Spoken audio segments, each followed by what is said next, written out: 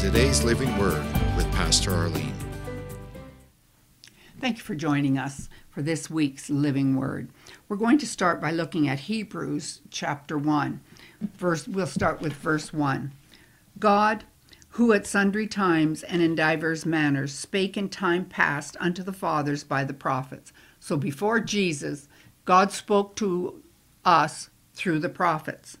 But now, verse 2 hath in these last days spoken unto us by his Son.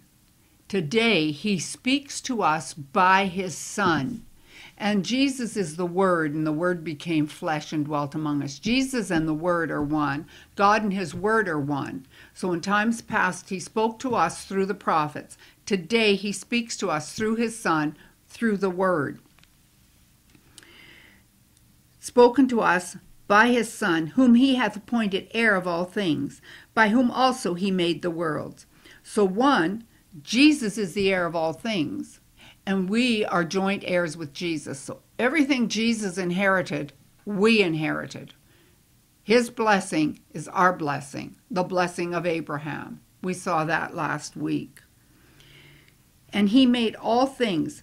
By Jesus, all things were made. The worlds were made by Jesus, by the Word.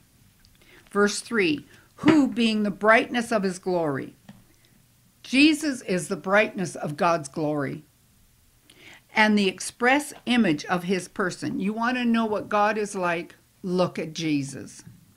And upholding all things by the word of his power, when he had by himself purged our sins and sat down on the right hand of majesty on high. So here, God, Jesus upholds all things by the word of his power. The power is in his word.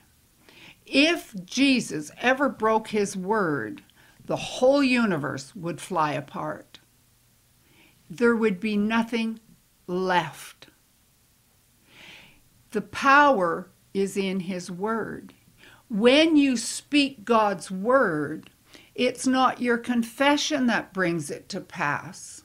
What brings the word to pass is the power of God, the faith of God that's in each and every word he speaks. Thank you for joining us today.